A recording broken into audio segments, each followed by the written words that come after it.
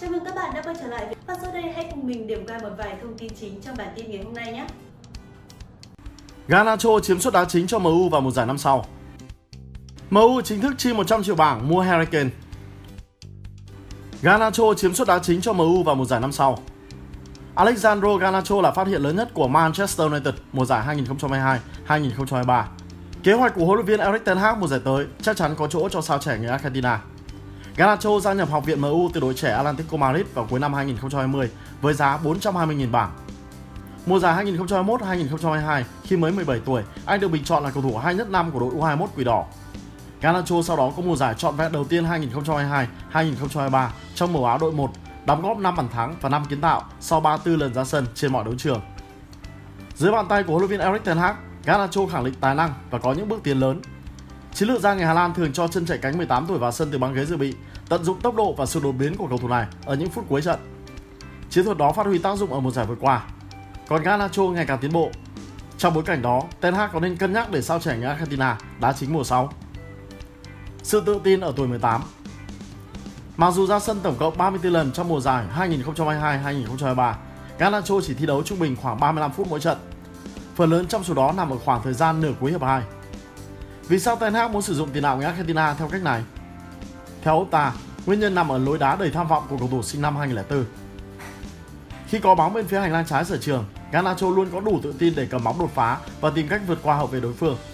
Khi có khoảng trống ở các vị trí thuận lợi, chân sút 18 tuổi có đủ sự quyết đoán để tự mình dứt điểm. Mặc dù tỷ lệ thành công của những tình huống một đối một hay những cú sút của Garnacho là chưa cao, tinh thần dám tạo đột biến luôn ở đó. Tại Europa League mùa giải vừa qua, tiền đạo cánh người Argentina thực hiện tổng cộng 50 tình huống dắt bóng, được tính khi cầu thủ dẫn bóng từ 5 mét trở lên sau 6 lần ra sân. Tất cả pha xử lý trên đều diễn ra ở bên cánh trái và phần lớn đều hướng đến vùng cấm hoặc khu vực 1 phần 3 cuối sân phần sân đối phương. Cũng tại Europa League mùa giải vừa qua, Garnacho thực hiện 14 nỗ lực qua người, trong đó có 5 lần thành công và 9 lần mất bóng, tỷ lệ thành công đạt khoảng 35%. Những lần qua người thành công của chân sút 18 tuổi chủ yếu diễn ra ở khu vực vùng cấm đối phương. Điều này cho thấy cầu thủ chạy cánh của MU đủ tự tin để thực hiện những pha độc diễn trên mặt trận tấn công. Athletic bình luận về phong cách thi đấu của Garnacho như sau. Bất kể đối mặt với hậu vệ nào, khi có bóng trong chân, cậu ấy không ngại chạy tới và tìm mọi cách để đột phá. Mặc dù nhiều lần không thành công, tiền đạo người Argentina vẫn có khả năng khiến hàng thủ của đối phương hỗn loạn bằng sự mạnh dạn của bản thân. Nói về sự hỗn loạn mà Garnacho gây ra, không ví dụ nào tốt hơn là bàn thắng thứ hai của MU trong chiến thắng 2-1 trước Barcelona tại trận play-off lượt về Europa League một giải vừa qua. Phút 73, khi tỷ số trận đấu đang là một đều, chân sút 18 tuổi sau khi vào sân thay người có khoảng trống trong vòng cấm của Barcelona và quyết đoán tung ra cú dứt điểm một chạm dù có nhiều không gian và thời gian. Trái bóng từ cú sút của Galacho bị hậu vệ đội bạn cản lại, văng đến vị trí của Fred ngay trước vùng cấm. Cú đá của Fred tiếp tục bị chặn lại bởi các cầu thủ Barcelona trước khi Anthony giúp các đồng đội đưa bóng vào lưới ở tình huống sau đó. Từ tình huống dứt điểm hơi vội của Galacho, hàng thủ của Barcelona trở nên lộn xộn, dẫn đến bàn thắng đưa MU vào vòng 16 đội Europa League. Pha xử lý trên không phải là lần duy nhất Garnacho tạo ra sự khác biệt khi vào sân từ băng ghế dự bị trong mùa giải 2022-2023. Tại vòng 16 Premier League, ngôi sao người Argentina ghi bàn ở phút 90 3 sau khi được thay người ở phút 70 để giúp MU thắng Fulham 2-1. Tại vòng 20 giải đấu này, Garnacho kiến tạo cho Marcus Rashford cũng trong hoàn cảnh tương tự để ấn định thắng lợi 2-1 trước Manchester City. Chưa hết, ở vòng 23, cầu thủ 18 tuổi lập công khi xuất phát từ băng ghế dự bị để giúp Quỷ Đỏ đánh bại Leeds United 2-0. Đến vòng 36, khi vừa trở lại sau 2 tháng ngồi ngoài vì chấn thương, Garnacho vào sân ở phút 81 và đã làm tung lưới Wolverhampton ở phút 90 4. Sau bàn thắng cuối cùng trong mùa giải vừa qua vào lưới của Wolver, Garnacho tự tin cởi áo ăn mừng trước các cổ động viên trên sân Old Trafford, dành tặng pha lập công cho đứa con sắp chào đời. Không nhiều cầu thủ sinh năm 2004 đủ sự tự tin để làm điều đó. Mùa giải 2022-2023 chứng kiến Garnacho bước ra ánh sáng với vị thế ngày càng vững chắc tại MU. Suất đá chính cho Garnacho Điểm mạnh của Garnacho là sự sẵn sàng đối mặt và tìm cách đánh bại hậu vệ đối phương. Xong, những phân tích chỉ ra nỗ lực của tiền đạo người Argentina không phải lúc nào cũng thành công. Do đó, để Garnacho hành hạ các hậu vệ đối phương và tạo đột biến hiệu quả hơn, huấn luyện viên Ten Hag để anh trên băng ghế dự bị sử dụng Anthony, Marco Rashford hay Jadon Sancho để bào mòn thể lực của đối phương trước. Đến những phút cuối trận, tài năng 18 tuổi được tung vào sân với lợi thế về mặt thể lực dễ phát huy điểm mạnh của bản thân. Việc Garnacho nhiều lần giải cứu MU sau khi vào sân từ băng ghế dự bị mùa giải vừa qua chứng minh Ten Hag chính xác. Chiến lược gia người Hà Lan biến học trò người Argentina trở thành phương án B lợi hại và không việc gì ông phải thay đổi điều đó vào mùa giải tới. Một nguyên nhân khác khiến Garnacho khó có một suất đá chính tại MU mùa giải tới là có nhiều cầu thủ khác chiếm vai trò tiền đạo cánh trái. khi lành lặn, Rashford, cầu thủ hay nhất mùa giải 2022-2023 của Quỷ Đỏ, nghiễm nhiên có suất đá chính ở vị trí này. Trong khi đó, dù thường xuyên bị chỉ trích, Jadon Sancho có khả năng kết nối lối chơi chung tốt hơn Garnacho, thường vào sân trước rồi sẽ vào thay người đàn em. Cạnh tranh với Rashford là điều khó khăn, nên Jadon Sancho là người mà ngôi sao sinh năm 2004 có khả năng vượt qua cao hơn.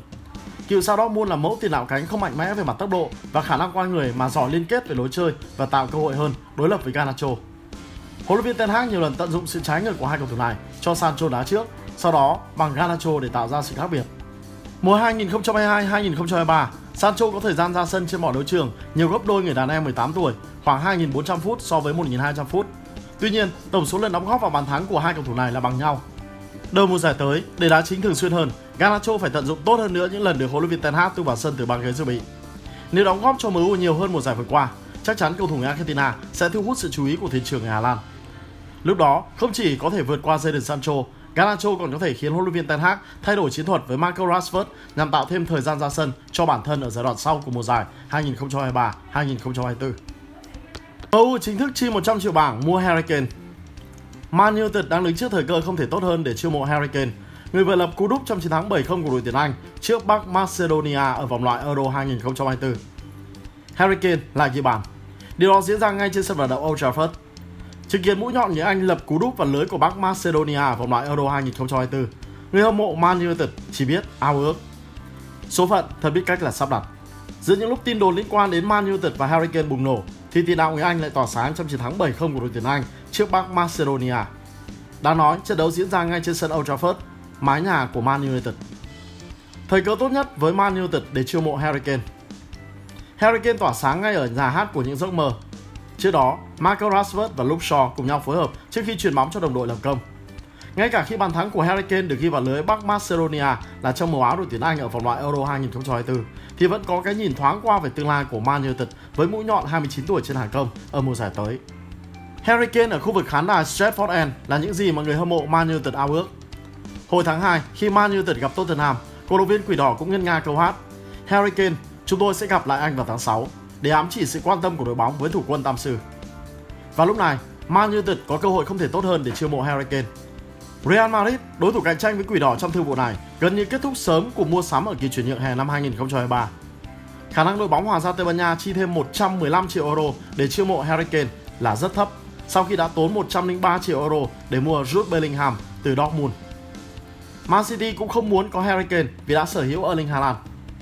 Hai năm trước, The Citizen tiến gần đến việc chiêu mộ tiền đạo người Anh. Thế nhưng phi vụ này đã bất thành. Harry Kane khi ấy được cho là cũng nổi loạn để có thể ra đi. Ngoài Man United, PSG và Bayern Munich cũng bày tỏ sự quan tâm đến Harry Kane. Song hai gã khổng lồ của Pháp và Đức chưa có bất cứ động thái rõ ràng báo chi vì chân sút sinh năm 1993. Gần đây, Luke Shaw đã tận dụng cơ hội việc đội tuyển Anh tập luyện ở trung tâm Carrington để lôi kéo Harry Kane và Declan Rice gia nhập quỷ đỏ. Luke Shaw đã đưa hai người đồng đội đi tham quan các cơ sở của Man United. Một hành động nhỏ nhưng có thể quyết định thành bại cho một phi vụ lớn. Man United không giấu khao khát sở hữu Harry Kane, người được cho là sẵn sàng với thử thách mới. Thế nhưng, mong muốn không phải là thứ quyền lực quyết định mọi thứ. Vấn đề nằm ở Tottenham. Liệu rằng họ sẽ chấp nhận bán mũi nhọn này trong mùa hè năm 2023? Hơn nữa, Harry Kane không thể ngồi yên. Đã tới lúc anh phải thúc đẩy ban lãnh đạo của Tottenham giống như những gì đã từng cố gắng làm cách đây 2 năm. So với năm 2021, Harry Kane đang ở vị thế rất khác để có thể rời đi. Anh đang bước vào năm cuối của hợp đồng. Điều này đồng nghĩa Tottenham Hotspur sẽ chỉ thu về được khoản phí chuyển nhượng nếu bán cầu thủ ngay trong mùa hè này. Bằng không, họ sẽ mất trắng vào mùa tới. Với tính cách của chủ tịch Daniel Levy, một người được truyền thông miêu tả là rất khôn ngoan và thực dụng trên thị trường chuyển nhượng. Ông chắc chắn không muốn để mất quân bài giá trị nhất mà lại chẳng thu về một đồng nào. Ngay cả khi chủ tịch Levy mạnh mẽ tuyên bố từ chối bán Harry Kane cho những đối thủ ở trong nước. Thực tế lại cho thấy không nhiều tên tuổi ngoài xứ sở sương mù sẵn sàng bạo chi cho tay săn bàn sinh năm 1993. Đã tới lúc Man United phải quyết liệt, sớm có những nước đi dứt khoát trong thương vụ chiêu mộ Harry Kane. Có mũi nhọn người Anh trong đội hình, đội bóng như được bổ sung thêm số 10 hoàn hảo cũng như một trong những số 9 hay nhất. Cách nói này để chỉ sự toàn diện trong phong cách thi đấu của thủ quân Tam Sư.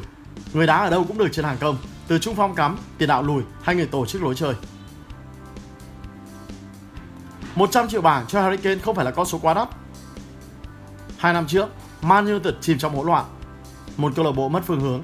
Điều này khiến họ đánh mất vị thế mỗi khi bước vào cuộc đua tranh chuyển nhượng với những đối thủ khác. Giờ đây, tất cả thay đổi. Mùa tới, Man United sẽ trở lại đấu trường Champions League. Quan trọng hơn, họ rất cần tiền đạo cắm. Nếu tới Man United, Harry Kane chắc chắn lấy suất đá chính. Anh cũng không lo bỡ ngỡ với môi trường mới. Rashford, Luke Shaw sẽ thay phiên nhau hỗ trợ cho đồng đội, giống với cách họ cùng nhau tạo ra bàn thắng mở tỷ số cho đội tuyển Anh trước Bắc Macedonia ở vòng loại Euro 2024. Tại Old Trafford, Harry Kane cũng gặp lại Christian Eriksen, đồng đội cũ một thời. Gần đây, huấn luyện viên Gareth Southgate của đội tuyển Anh khuyên Harry Kane noi gương Teddy Sheringham, người chuyển từ Tottenham sang Man United lúc 31 tuổi. Ở Tottenham Hotspur, Sheringham chơi tốt, thường xuyên ghi bàn nhưng lại không có danh hiệu nào. Gió đổi chiều khi Sheringham cầm bến Old Trafford. Anh có 3 chức vô địch Premier League, một cúp FA, một Champions League trong 4 mùa giải khoác áo quỷ đỏ thành Manchester. Man United bắt buộc phải sớm hành động ngay trong mùa hè này vì Harry Kane. Nếu chờ tới năm sau, thời điểm tiền đạo người Anh trở thành cầu thủ tự do, quỷ đỏ sẽ phải đối mặt với sự cạnh tranh khốc liệt từ những đối thủ khác. Harry Kane không còn trẻ. Tháng tới, anh sẽ kỷ niệm sinh nhật lần thứ 30. Xong, tuổi tác với mũi nhọn người Anh chỉ tồn tại trên giấy tờ. Qua cách Harry Kane chăm sóc bản thân, giới chuyên môn tin rằng tiền đạo này có thể thi đấu tới năm 40 tuổi. Mùa này, ở cấp độ câu lạc bộ và đội tuyển quốc gia, Harry Kane ghi 41 bàn, ngang bằng với thành tích ở mùa giải 2017-2018.